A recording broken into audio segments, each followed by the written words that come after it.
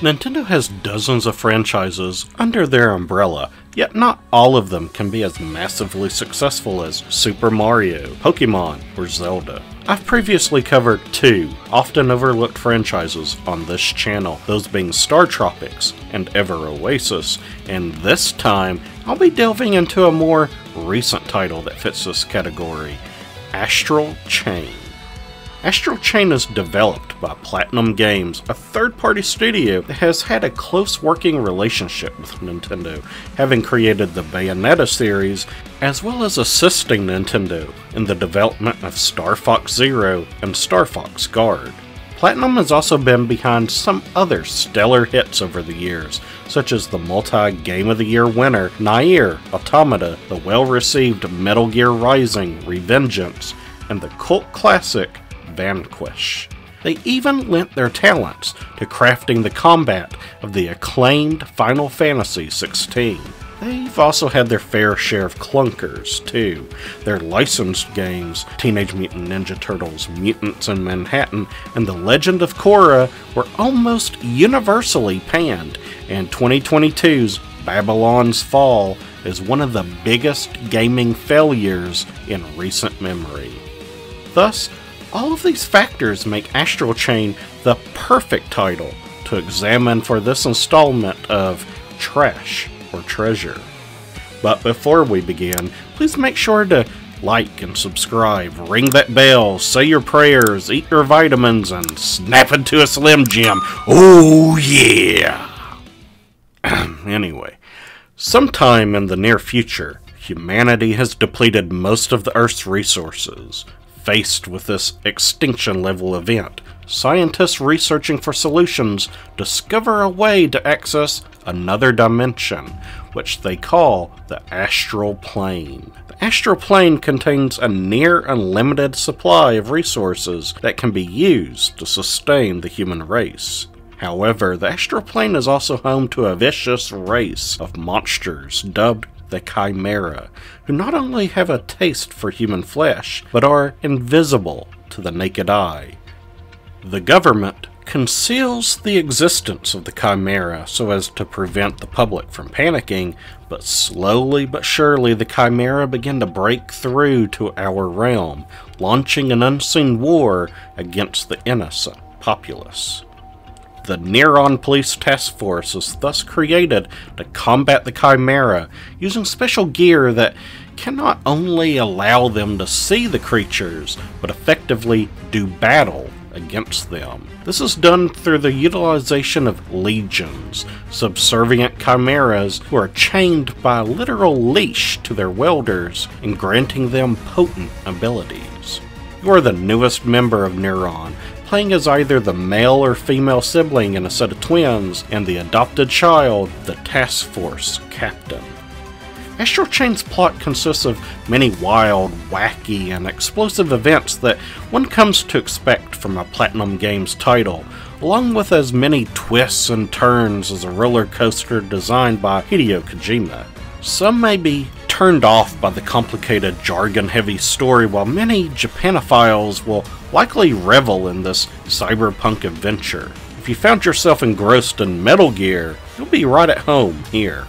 The story is propped up by a memorable cast of characters that give the tale a bevy of personality.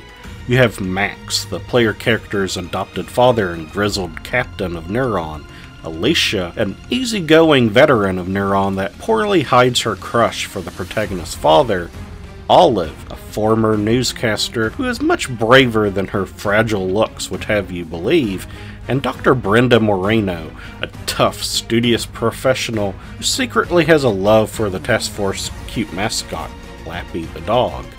Perhaps my favorite character is that of Marie, a former traffic officer who is brought onto the team to provide moral support. She does this by donning a full bodysuit of Neuron's mascot Lappy and cheering people on through acts of positivity. Marie strives to keep her role as Lappy a secret from the rest of the task force, but her clumsy nature means that she's not all that convincing.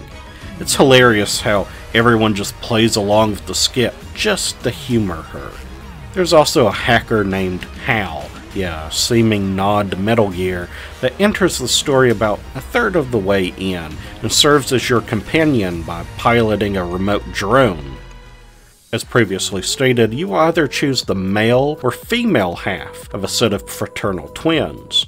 Regardless of your choice, the other twin is referred to by the gender neutral name Akira, and aside from a different voice actor and some minor dialogue changes, Akira's role and personality remain identical. Akira shows exceptional prowess, just like the player character, however, early on in the story, they begin to be overlooked by their more adept sibling. This leads to a sort of friendly rivalry between brother and sister, where Akira believes they must push themselves harder, prove that they too can be a hero. Astral Chain features a silent protagonist, which is a little surprising considering there is a voice actor for both siblings. Still, the developers have done a great job allowing this character to stand out in their own right, being among some of the better silent protagonists in gaming, such as Link from Zelda. Players are able to lightly customize the protagonist in the beginning, changing skin tone, hairstyle, and color, and assigning them a name, though it's all purely cosmetic. And if you have a fear and commitment, don't worry, because all this can be changed at any time between chapters. There are 11 main chapters in the game, with a 12th serving as an epilogue and packed with in game challenges. Most all chapters follow a similar structure that split into three parts the preparation stage, the exploration stage, and the combat stage. Most preparation stages take place at Neuron's headquarters. Here, you're able to customize your character, buy support items, upgrade your equipment, practice your combat abilities, take on a small number of side quests, converse with members of the squad, and even replay past missions from your desk computer.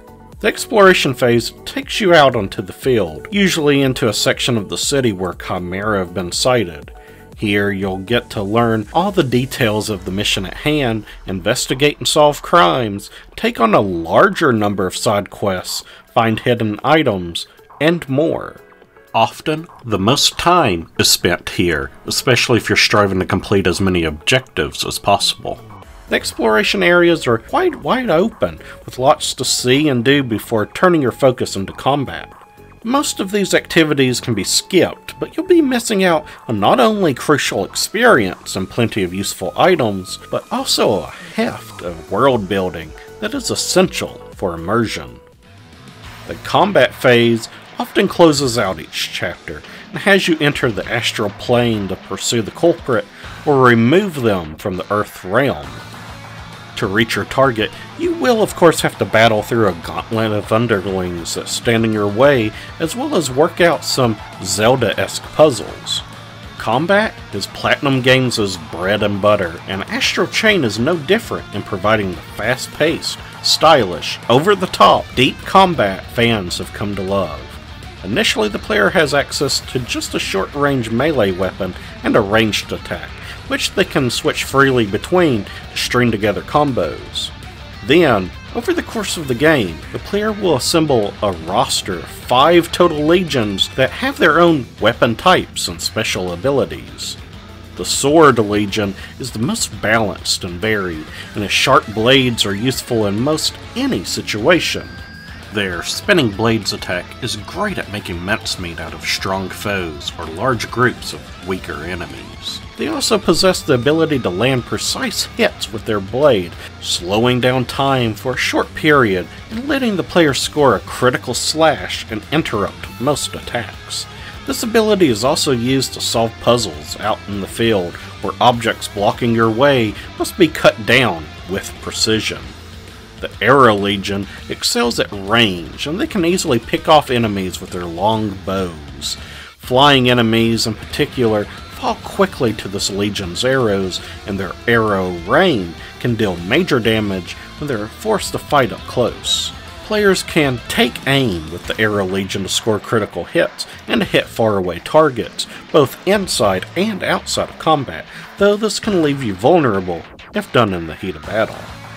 The Arm Legion is the powerhouse of the crew, dealing massive damage with their large and mighty fists. This legion is quite slow, but is great for taking down the hardier baddies when encounters. The Armed Legion can also lift heavy objects with ease, which is handy when clearing the way or when in need of a weapon in a pinch. Protagonists can also ride along this legion, giving you more direct control of their attacks and providing protection from hazardous obstacles on the ground. The Beast Legion is the fastest weapon in your arsenal and is excellent in providing hit and run attacks on all matter of foes. Their howl can stun all nearby enemies, even most bosses, giving you ample time to mop up the arena. Players can ride atop the Beast Legion in and out of battle too, which is great when you need to travel long distances or when you must make a quick getaway.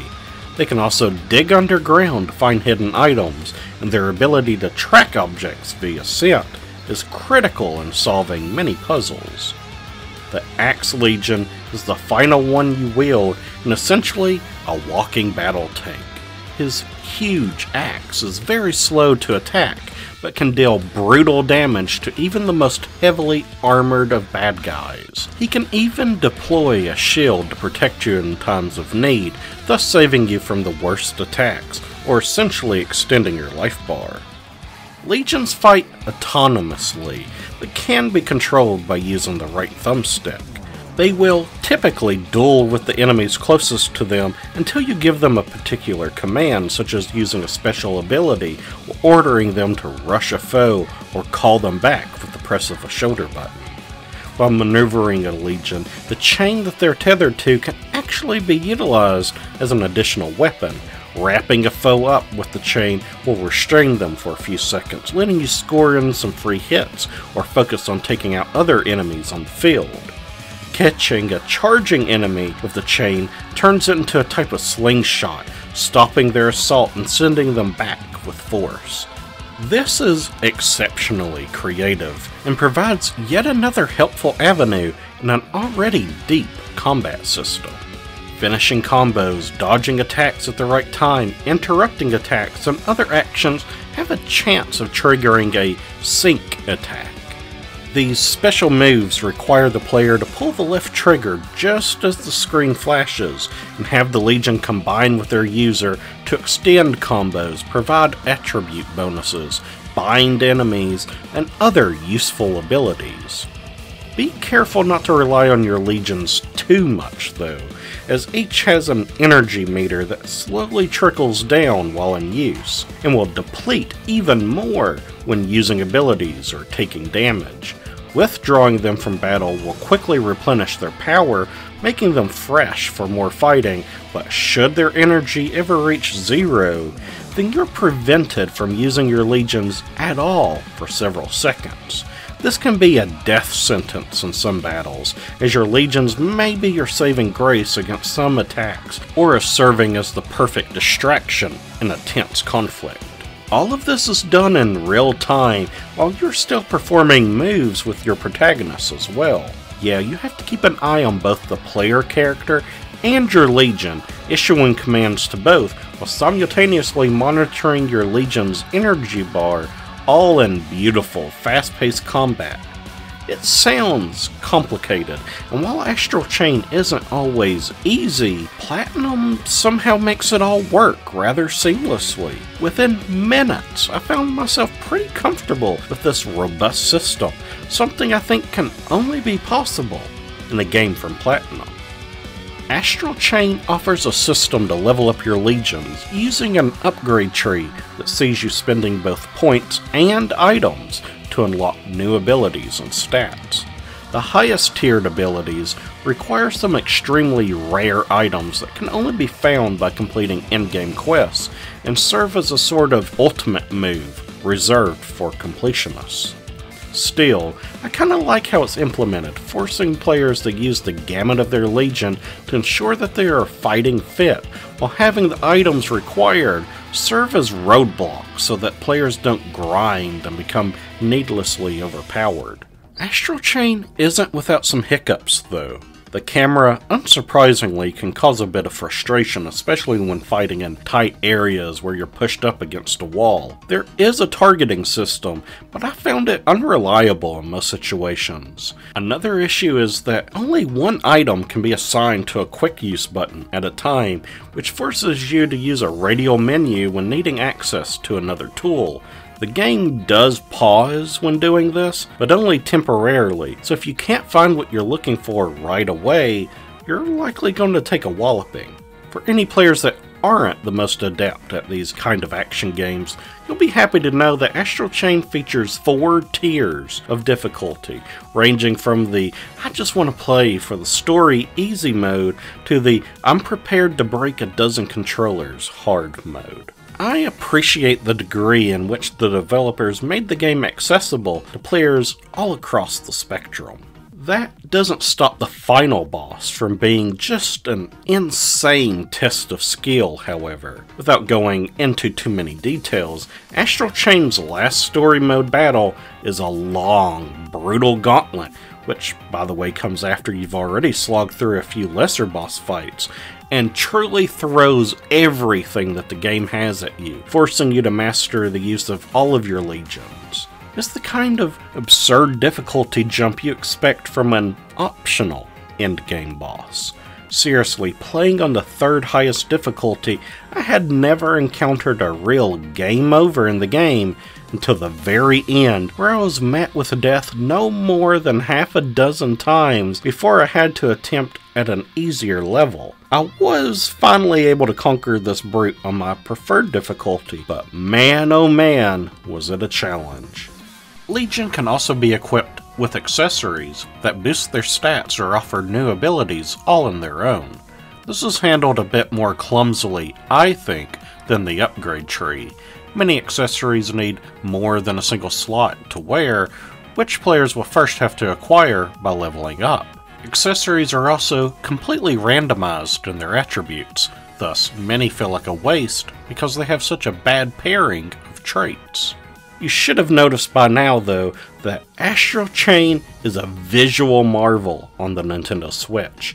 Sure, there are a few jagged edges and some textures could be better defined, but that also seems a given on this hardware. What is astounding is how much action is always occurring on the screen and with zero slowdown.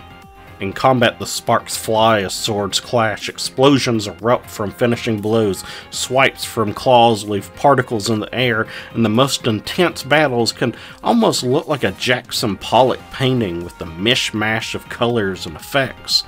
Outside of battle, it's still impressive, with the artistic direction calling for numerous glitches in the environment, along with lens flares and floating particles, all contributing to the futuristic cyberpunk aesthetic.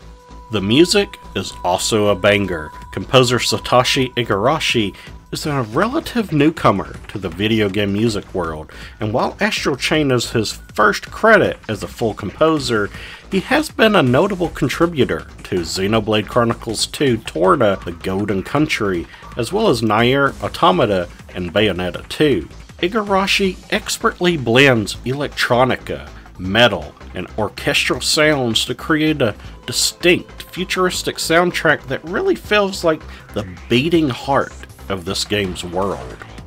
I want to end by briefly discussing the co-op mode that was originally touted as a selling point but has since mostly been ignored by players after release. One player naturally takes control of the protagonist, while the second player controls the Legion. More specifically, player 2 has greater control of the camera than normal, which can be used to guide the Legion around a little bit, and they can issue commands for special attacks when appropriate. This mode forces players to both use one Joy-Con each, so there's no way to use two Pro controllers, which really sucks.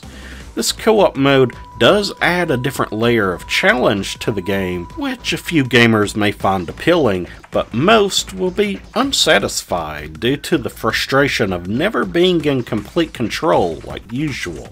Honestly, it feels like Platinum was forced to include this by Nintendo so as to appeal to the Switch's multiplayer capacity, and it should have just been scrapped. With that being said, even if the multiplayer isn't worth getting into, and the final boss is a pain in the rear, and the camera is your typical action game nightmare, Astral Chain possesses some of the most thrilling gameplay I've encountered in some time. It's a damn shame that it never got nearly as much attention as the Bayonetta games because, as much as I love me some Bayonetta, Astral Chain may rank even higher on my list of great action titles. It may be hard to find and a little expensive at this point, but I urge you to add this game to your Switch's library. It is most assuredly a must play.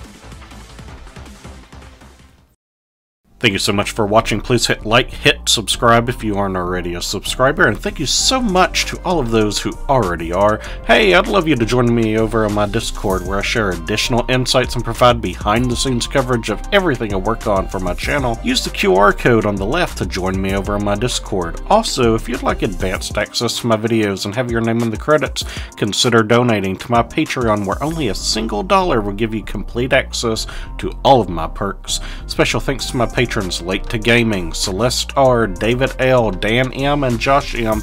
Your support is absolutely cherished. Thank you all once again, and take care, everyone.